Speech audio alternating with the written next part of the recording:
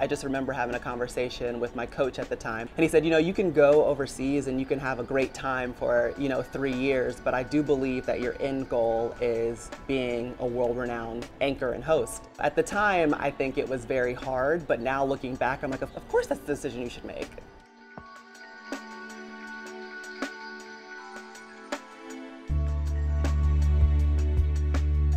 Funny because when I came to college, I thought I was going to be a doctor. I changed my major to business and then I took accounting and I was like, same thing, I'm not good at that either.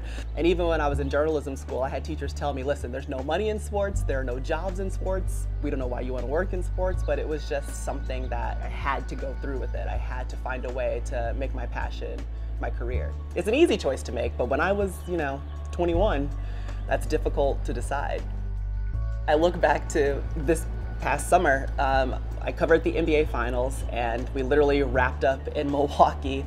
And then the next morning, I was flying to Tokyo to cover the Olympics for the first time at a new company and a new job and I've never met anyone in person. And and I'm expected to you know come in and host our Prime Plus coverage of the Olympics. And we're talking about skateboarding and surfing and all of these sports that I've been trying to learn. But at the same time I've been at the NBA finals so you're wrapped up in that. And I just remember being on the plane thinking what am I doing?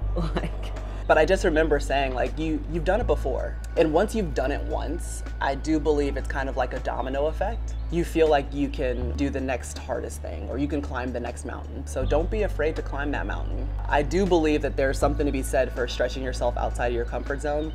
And I do think there's something to be said for just honestly believing that you know, I always thought if I was going to be a women's sports broadcaster, I would only be able to work in women's sports. Anything is possible. I didn't think that I would be doing working in the NFL. It's crazy what happens when you stretch yourself, you stretch your limits, and where you can end up in places that you never dreamed of or imagined you would end up in.